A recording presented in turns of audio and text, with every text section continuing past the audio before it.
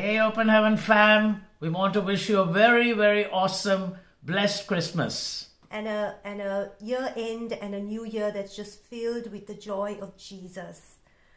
We always carry you guys in our Yeah. hearts, and our prayer for you is that this Christmas and New Year you will just experience Jesus more and have a deeper revelation of who He is and how Yeah. He loves you and the amazing things He has in store for you. Merry Christmas. God bless you.